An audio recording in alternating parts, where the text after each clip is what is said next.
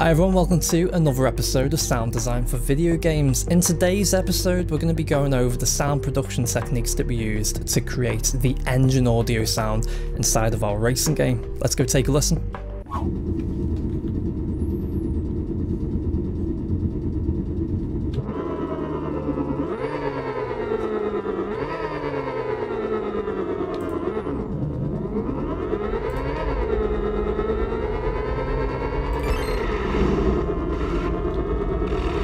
For the demo racing game, we're using a mixture of noise filtering and synthesis to essentially create the car engine sound. I'll go into it right now. There are three components. The first element is noise filtering. You can kind of think of noise filtering like a sculptor. So you have a big block of rock or marble, and the idea is you're going to sculpt that into something else. Now in this case we're not using rock or marble, we're using noise and what we have is white noise, pink noise and Brownian noise. And the differences between them is essentially how much the high frequencies fall off. So white noise is all of the frequencies from low to high, uh, represented at equal intensities, where you can see by this graphic here, pink noise allows those high frequencies to drop off and Brownian noise even more aggressively, the high frequencies will drop off. We're then going into a plugin called Snap Heap by Kilohearts. Snapheap is a really cool plugin because what it enables you to do, it enables you to load up these little modules here and you can have them processed in either serial or parallel via these buttons here. So if you look here and here, if those buttons are lit up blue, that means that they are being processed in parallel, which essentially means for each of these processes here, we are essentially creating a duplicate Brownian noise. So the Brownian noise comes into here and it's going processed through here. There's a new Brownian noise here which is processed through here and here and here and here and eventually they are summed at the end where it is being used in serial. The other cool thing you can do with Snap Heap is you can set up these macros here, which are particularly useful for when you need to automate, which we do need to automate because we want our engine rotation speed to essentially allow that to influence how these filters move. So I'll speak briefly about these filters now. Essentially what we're doing is we are using high passes and low passes to essentially create a little pinch on the frequency response. And now because it's noise, it's going to sound naturally noisy. And the idea is this is sort of the atonal aspect of the engine sound. An engine is obviously a very noisy thing, so it made sense to use noise for this. So as we filter these, we're essentially bringing up the high pass to an area where we want the first harmonic and we're moving down a low pass to essentially pinch at that first harmonic there. And then we're using the Q value to figure out how wide we want that and ultimately that's going to create how noisy it is. So a wider Q value will sound more noisy because you're letting more of those frequencies occur in that space where a lower Q value will pinch it even more and make that frequency much more focused. Now here's what the Brownian noise actually sounds like completely by itself. So you can hear just a basic noise sound. Now here it is coming through Snap Heap. So you can hear there we're getting quite close to that engine rumble sound and we have a load of controls here. I'm just going to go over the master control just for now which is essentially attached to the pitch control and then the pitch control is attached to all of these cut-off filters so that we can move those filters up and down. So I'll just show you what that does right now.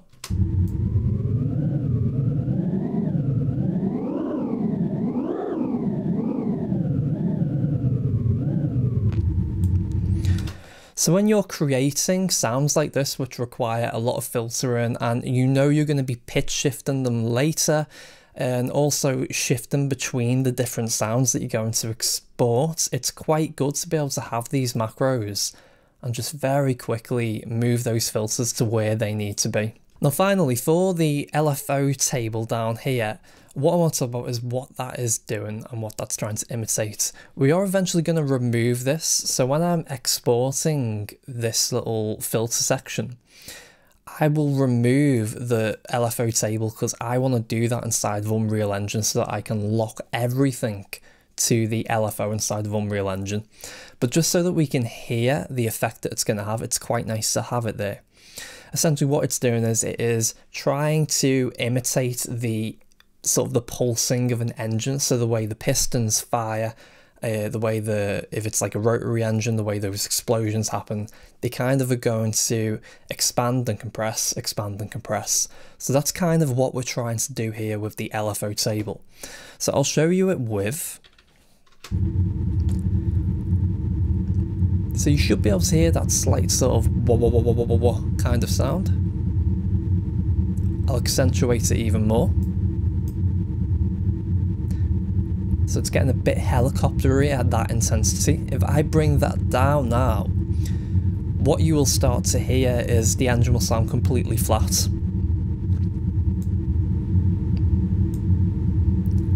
Now that's where to me, it's just starting to sound like normal noise there and it doesn't in the slightest bit sound like a car engine. So using something like an LFO is quite important when you're trying to give that sense of, for instance, combustion. If it was a completely electric vehicle, you might decide not to use the LFO and go for that sort of flat sound. So if I leave it flat now and show you some pitch shifting with it flat, it might sound a little bit more like an electric vehicle.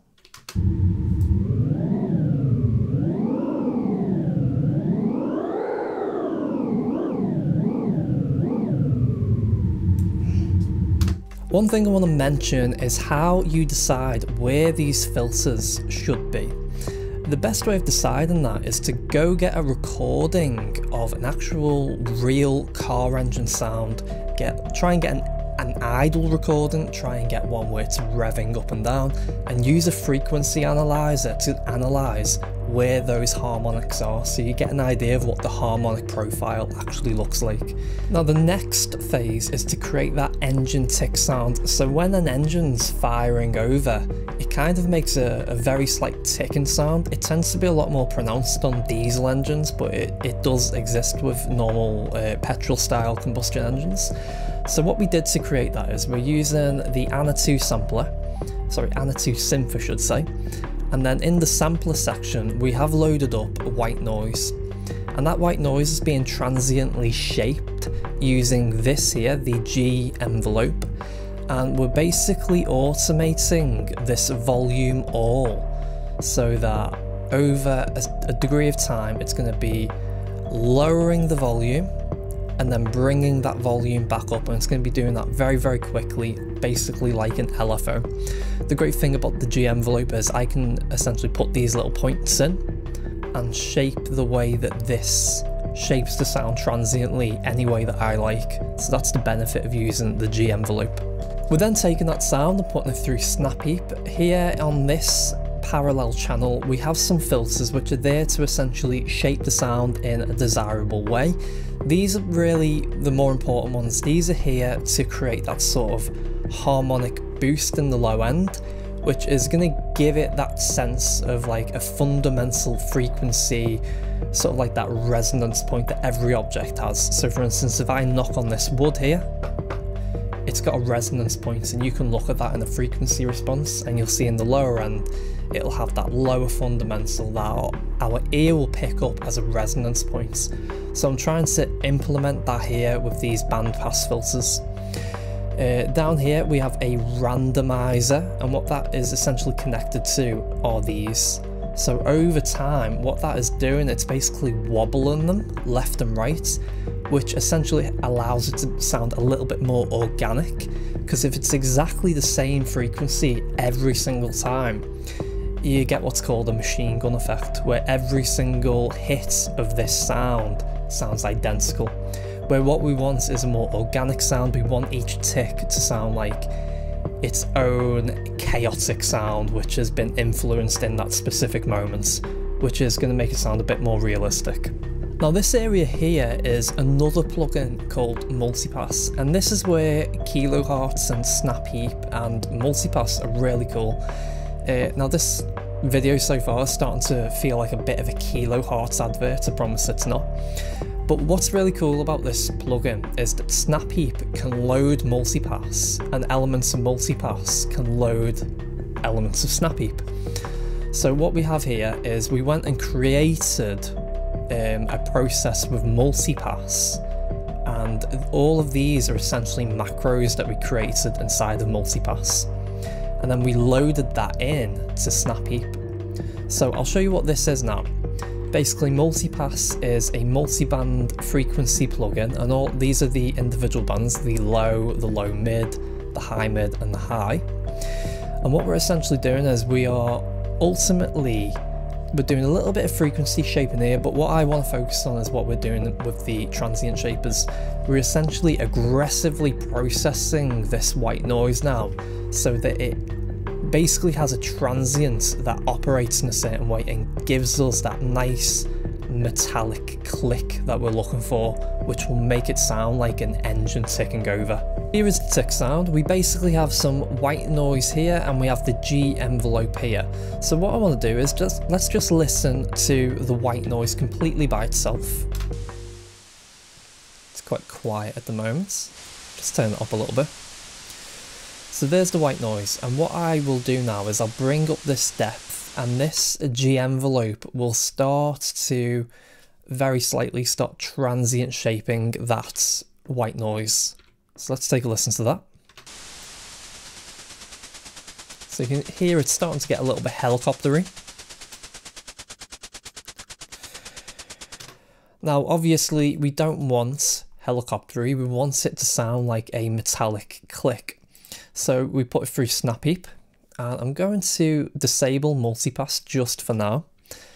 But this is what these processors do. So I'll scroll down so you can see them all. So we've got these filters here, this sort of very broad uh, low pass here, which is just shaving off some of those high frequencies.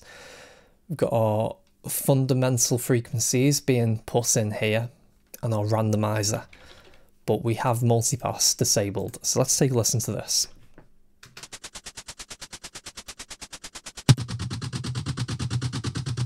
Probably too loud now. Let's bring that right down. There we go. So you can hear that low frequency bump that we're getting now, which is very much these fil filters that are responsible for that. Now, if I engage multipass, you'll hear the power of this multi-band transient shaping now.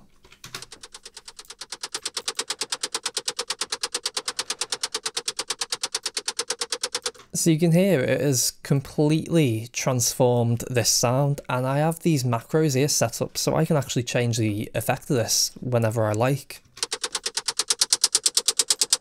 So I can get that very hyper clinky type sound. I'll bring that back down. And I can get a sort of lower clinky sound here. Sounds a little bit more papery. Essentially the goal is to just balance them in such a way that it starts to sound like a metallic sound, essentially.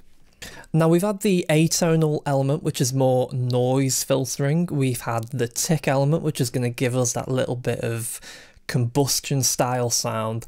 The next thing we need is the tonal element. This is the part of the sound which is basically going to tell the player what the RPM of the car is. You want to be able to hear, oh, the engine is rotating this fast or it's firing this quickly.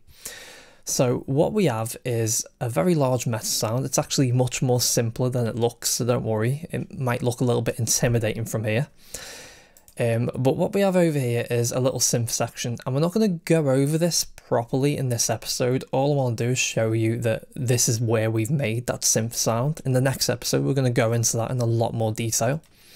So what I'm going to do is I'm going to press play, and I'm going to trigger this over here. So these are essentially our noise filters and all of that is being mixed in with the engine tick sound as well. Now, if I stop this, what I want to do is focus on just the synth sections. So to do that, I just need to unplug this area here. So now I only have the synth section eventually going to my output mono. And I'll replug that in later. So here is the synth section. We've got three sorts of waves and we have a triangle wave which actually isn't being used at the moment. So if you look here we have a graph input that says zero. That's essentially the volume of the triangle wave. So we don't actually use that. I was just experimenting with that. Let's take a listen to this synth section.